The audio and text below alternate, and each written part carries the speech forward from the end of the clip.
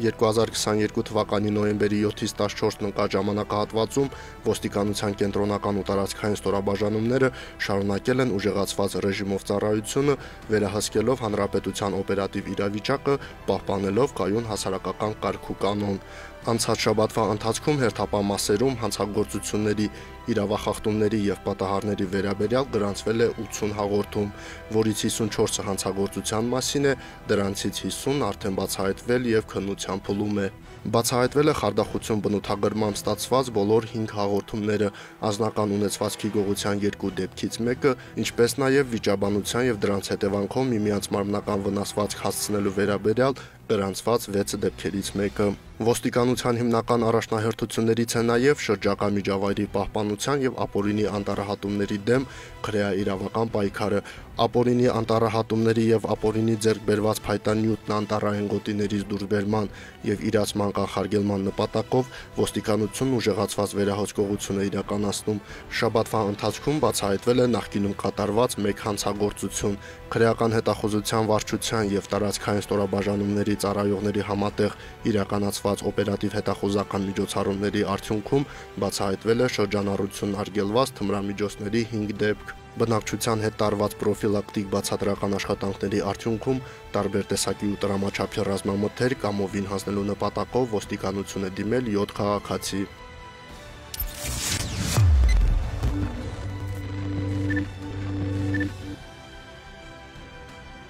Նոյեմբերի 12-ին սահմանային միջադեպ է տեղի ունեցել Ասկերանի շրջանում։ Քաղաքացիական անձին Խրամորդ գյուղի 100 հեկտար կոչվող տարածքում աշխատանքներ իրականացնելիս հարակից ադրբեջանական մարտական դիրքից նրանց ուղությամբ հրաձգային զինատեսակներից կրակ են բացել։ Դեպքի վայր մեկնած շրջանային բաժնի ծառայողները ողջել են, որ նույն օրը ժամը 16:30-ի սահմաններում Խրամորդ գյուղի բնակիչները նշված գյուղի վարչական տարածքի 100 հեկտար կոչվող տեղանքում S150 մակնիշի տրակտորով գյուղատնտեսական աշխատանքներ իրականացնելիս մերձակա տարածքում տեղակայված ադրբեջանական մարտական դիրքից նրանց ուղությամբ կրակ է արձակվել։ Արձակված կրակոցներից ջարդվել է տրակտորի դիմային եւ հետևի հողմապակիները։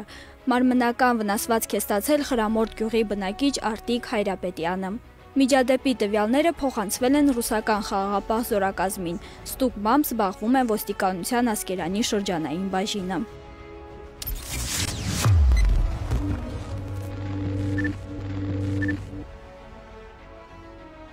Ճանապարհային ոստիկանության օպերատիվ կառավարման կենտրոնում գրանցված հաղորդումների տվյալներով 7 օրվա ընթացքում գրանցվել է ճանապարհատրանսպորտային 30 պատահար, որից 24-ը նյութական վնասով, 6-ը մարմնական։ Ճանապարհատրանսպորտային պատահարի հետևանքով Շոշ գյուղի վարչական տարածքում մահացել է Ներքին Սզնե գյուղի 65-ամյա բնակիչը։ Տրանսպորտային պատահարներից բուժ հաստատություն է դիմել 17 քաղաքացի, Նախորդ շաբաթվա համեմատ գրանցված թվի աճը մեծապես կապված է Ասկերան Ստեփանակերտ ավտոճանապարհին նոյեմբերի 12-ին տեղի ունեցած պատահարից։ Բեռնատար ավտոմեքենան բախվել է Ասկերան քաղաքը սպասարկող երթուղային ավտոբուսին տուժել է 12 քաղաքացի։ Նույն օրը ժամը 9:22-ին ներքին գործերի նախարարության ոստիկանության ճանապարհային ոստիկանության օպերատիվ կառավարման կենտրոնում միաժամանակ արտակարգ իրավիճակների պետական ծառայության ճգնաժամային կառավարման կենտրոնում հաղորդում է ստացվել Ասկերան Ստեփանակերտ ավտոճանապարհի 13-րդ կիլոմետրին Հայկազովի կամրջի մոտ տեղի ունեցած ճանապարհատրանսպորտային պատահարի մասին։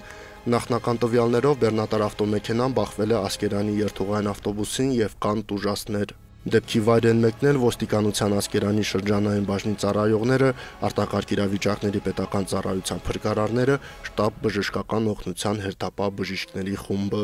Պարզվել է կամրջի մոտ իրար են բախվել Ասկերան քաղաքի բնակիչների վարած ՄԱԶ եւ Hyundai Մակնիշի ավտոմեքենաները։ Ճանապարհատրանսպորտային պատահարի հետևանքով վարորդներից բացի հանրապետական բժշկական կենտրոն են տեղափոխվել եւս 7 քաղաքացի, 3 անչափահաս երեխա տեղափոխվել են Արևիկ մանկական բուժմիավորում։ Ստուգմամբ զբաղվում է ոստիկանության Ասկերանի շրջանային բաժինը։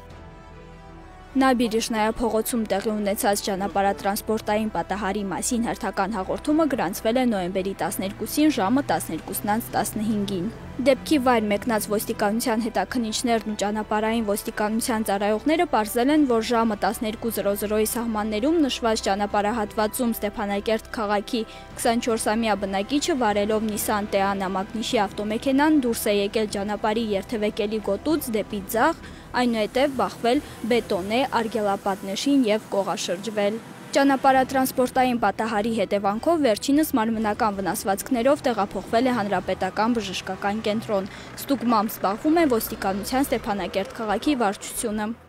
Ճանապարհապարեկային ծառայողների կողմից շաբաթվա ընթացքում բացահայտվել է առանց վարորդական վկայականի տրանսպորտային միջոց շահագործելու 27 դեպք, 26 վարորդ եղել է անսթափ վիճակում, 174-ը գերազանցել է սահմանված արագությունը։ Հանցագործությունների բացահայտման եւ դրանց կանխարգելման միջոցառումներին զուգահեռ ոստիկանության պետի հրամաններով ոստիկանության ծառայողների գիտական ու տեսական գիտելիքների մակարդակը բարձրացնելու եւ բարելավելու նպատակով իրականացվում է տարվա պլանով նախատեսված բոլոր ուսումնական դասընթացներն ու միջոցառումները։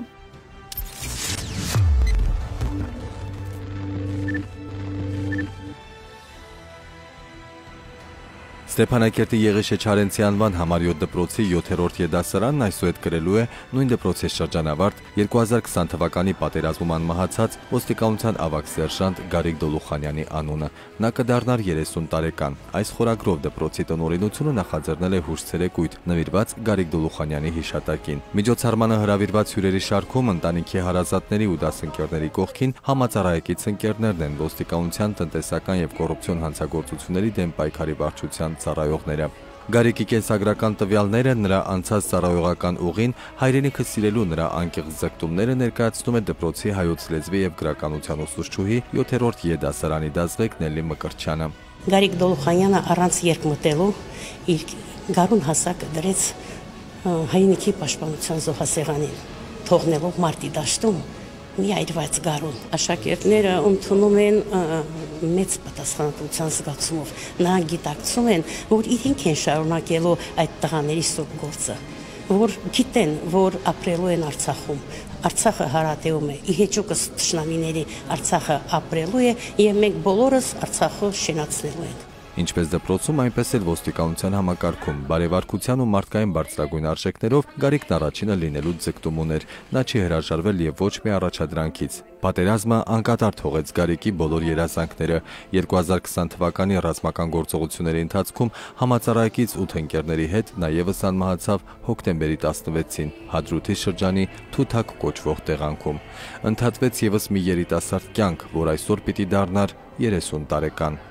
Հայրենասիրական երկերով ու ասմունքով հուշցերեկույթն ամբողջական են դարձրել 7-րդ դպրոցի աշակերտները։ Գարիկ Դոլուխանյանը 2016 թվականի դեկտեմբերի 8-ից ծառայության է անցել Արցախի Հանրապետության ոստիկանության տնտեսական եւ կոռուպցիոն հանցագործությունների դեմ պայքարի վարչությունում։ Սեպտեմբերի 27-ից ոստիկանության համահավաք գումարտակի անձնակազմի հետ մասնակցել է հայրենիքի պաշտպանության համար մղված թեժ մարտերին։ Արցախի Հանրապետության նախագահի հրամանագրով Գարիկ Դոլուխանյանը հետմահու ապարգևատրվել է արիություն մեդալով։